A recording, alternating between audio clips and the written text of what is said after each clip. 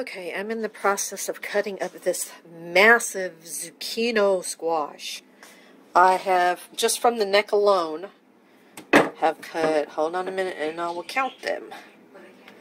One, two, three, four, five, six, seven off the neck. And then I have this big old humongous part. I'm not sure whether I want to be still squash.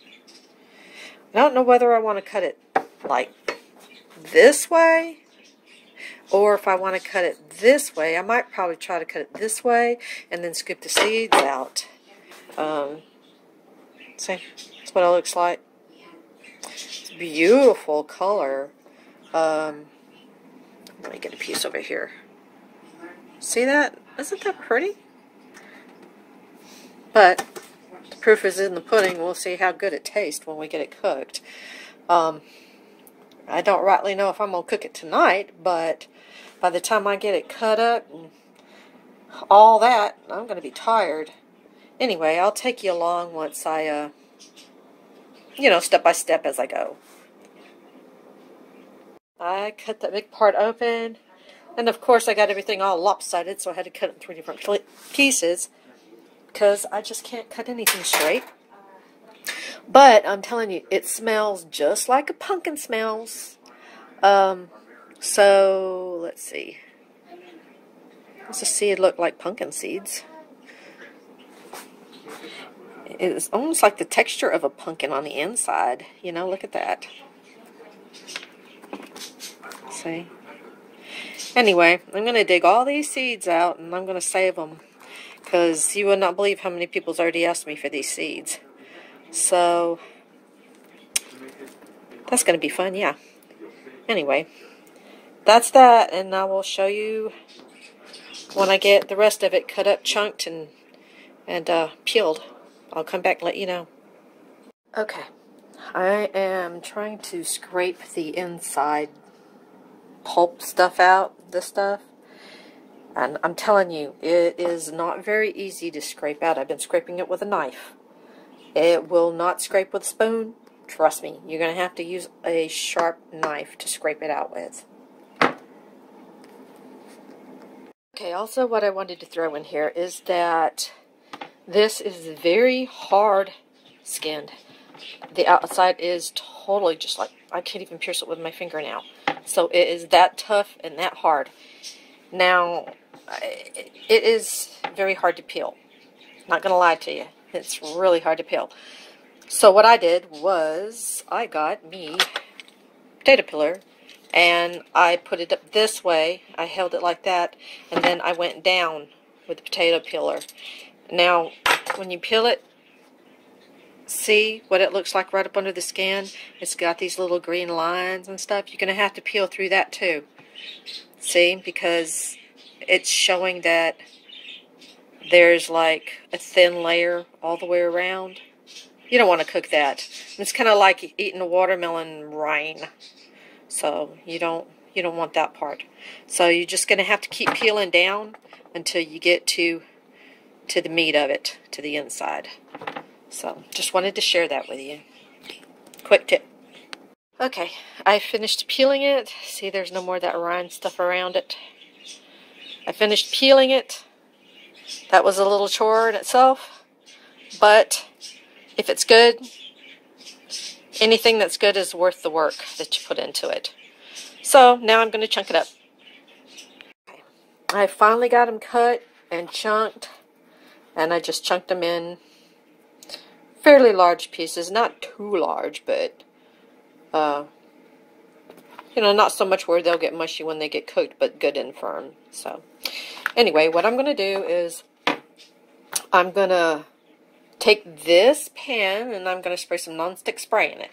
It's just one of them little CorningWare dishes. And um, then, let me move the seeds out of the way.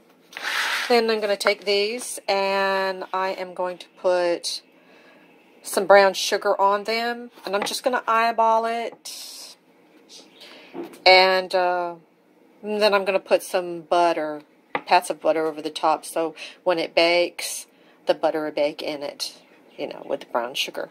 So as soon as I get that mixed up and put in here, I'll show you what it looks like.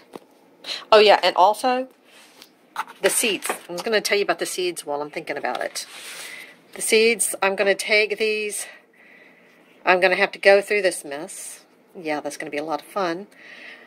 But um, I'm just going to have to pick the seeds out of the pulp. And then I'm going to lay them flat on um, just a flat surface like I could put it on a board or I could put it on another paper plate. I don't really want to use a napkin because these are, they're kind of sticky like, um, like with other fruits and vegetables. Sometimes the pulp is sticky. So I don't really want to put it on a paper towel. But anyway, I'll lay it flat and let them dry. And uh, once they get good and dry, then you can put them in an envelope and save the seeds for next year or next planting season. Okay, I'll be back.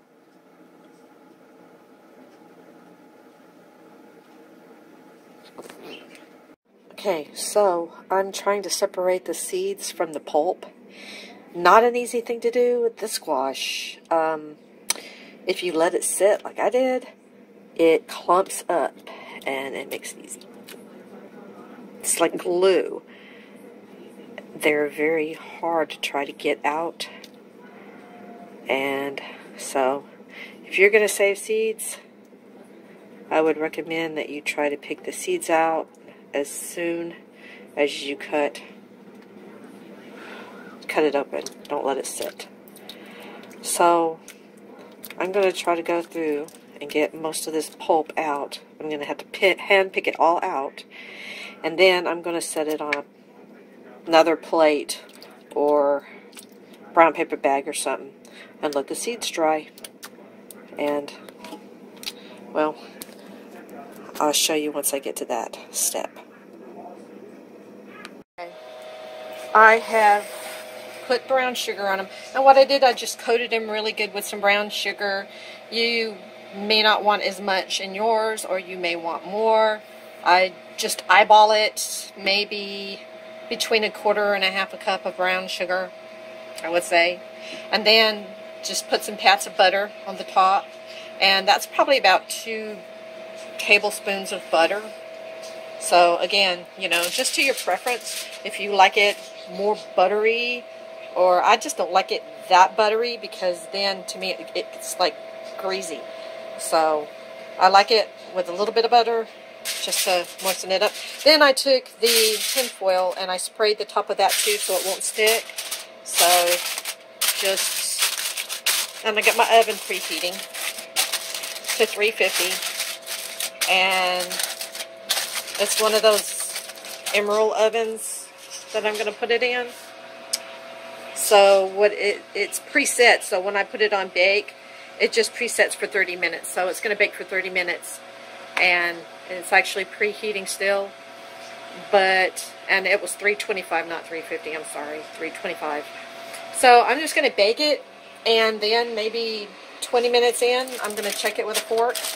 And then just keep baking it. If I have to add 30 minutes onto it, I will. and Or add more time, not 30 minutes, but add more time to it, I will. And if not, I'll get it out earlier. And we'll see how this turns out. Okay, I'm back. Um, this is what they looked like when they came out. They had a lot of juice in them. Um, I didn't add no water or anything. They just made their own juice. I put brown sugar in, like I told you. I put probably about a about a half cup. I should have probably just put about a quarter because they were like a little too sweet, but they were they were not bad. They were pretty pretty tasty. They just uh, they, kind of reminded me of an acorn squash. So um, yeah, they smelled like a pumpkin when I cut it, but it doesn't taste like a pumpkin. It's a squash, and you can tell. Um, it's got a pretty good flavor, so guys, try it out. It's the zucchino squash. And you can get the seeds through Baker Creek at rareseeds.com. That's where I got my seeds. Okay. Y'all enjoy your day. Bye-bye.